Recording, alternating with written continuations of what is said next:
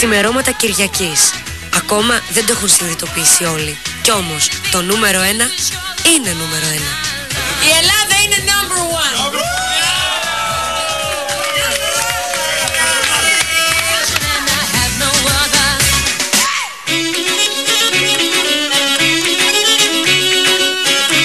Με ένα ποτήρι σαμπάνια, η νικήτρια της 50ης Eurovision γιορτάζει την πρωτιά. Το ξενοδοχείο που διαμένει η ελληνική αποστολή γεμίζει φωνές, φιλιά, χαρούμενα πρόσωπα. Θέλω να πω ένα, ένα μεγάλο, μεγάλο ευχαριστώ στα παιδιά που δουλέψαν τόσο πολύ. Οι περισσότεροι είναι ακόμα μουδιασμένοι. Όταν ξεκίνησε η ψηφοφορία τα πράγματα δεν πήγαιναν καλά.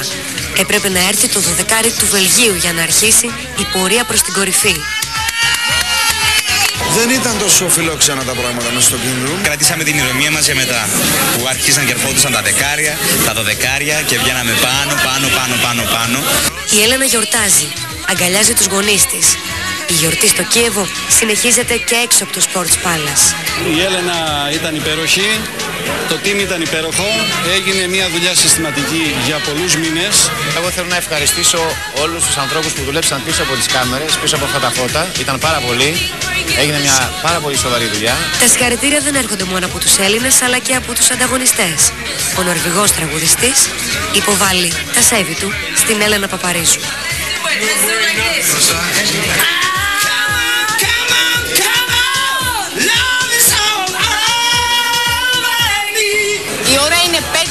Ξημερώματα Κυριακής και εδώ στο Κίεβο κανένας από την ελληνική αποστολή δεν κοιμάται.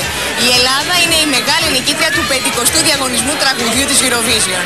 Όλοι ξενυχτάνε και πανηγυρίζουν, αλλά η Αλεξάνδρα είναι μόνη της εδώ πέρα. Συγκινήθηκε. Είναι πάρα πολύ συγκινητικό. Τι κλαίει μόνη του. Έλα, εντάξει, δεν κάθομαι και κλαίω μόνη μου. Απλά έφυγα λίγο από εκεί πέρα γιατί συγκινήθηκα. Γιατί είναι η πρώτη φορά που η Ελλάδα κερδίζει. Είναι η πρώτη φορά που η Ελλάδα φεύγει με την νίκη, με την πρώτη θέση και, και νομίζω ότι ήταν κάτι πάρα πολύ όμορφο αυτό που συνέβη και είμαστε μια, ήμασταν πραγματικά μια φανταστική ομάδα. Το πάρτι όμως δεν τελειώνει εδώ. Θα κρατήσει μέχρι τις 18 Μαΐου του 2006. Μέχρι τη μέρα που η Αθήνα θα φιλοξενήσει τον 51ο διαγωνισμό τραγουδιού της Eurovision.